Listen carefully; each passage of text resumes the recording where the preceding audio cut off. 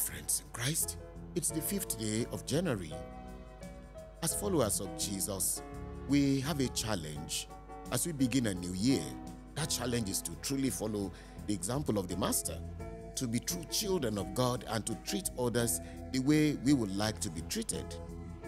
In the first reading today, taken from the first letter of John, chapter 3, verses 11 to 21, John begins this segment of his letter reminding us this is a message you have heard from the beginning that we should love one another.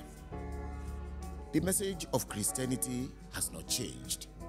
It is for love God sent his Son into the world to redeem it. It is out of love Jesus went up to the cross to save us and taught his disciples to live in love. Love your neighbor as yourself. Love your neighbor as I have loved you. He loved them by giving his life for them. Jesus here tells his listeners not to behave like Cain, who was evil in his action by murdering his brother.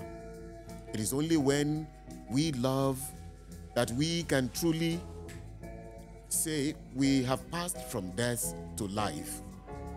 Anyone who does not love his neighbor is an agent of death and has no eternal life in him. It is this love that opens us to share what we have generously with others who are in need. And that generosity is the external sign that the love of God actually abides in us. Jesus tells us, little children, let us not love in word or speech, but in deed and truth. Loving in deed and truth is to live without guile, one who cannot deceive and cannot be deceived. In today's gospel, taken from John chapter 1, verses 43 to 51, Jesus in Galilee made a disciple of Philip. He comes from Bethsaida, the same city of Andrew and Peter. Philip also found Nathanael and told him of Jesus of Nazareth.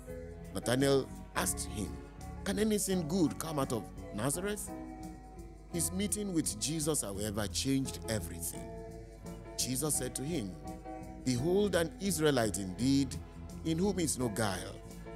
The dictionary defines guile as the use of clever but dishonest behavior in order to trick people.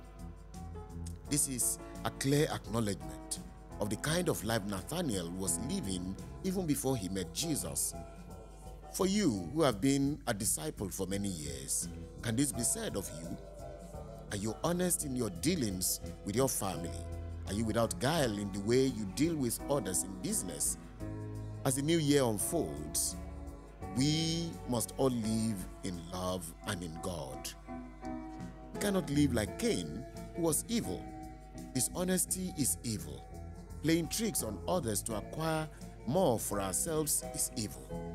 For those who live in Christ in truth and in love, one thing is clear. You will see heaven opened and the angels of God ascending and descending upon the Son of Man.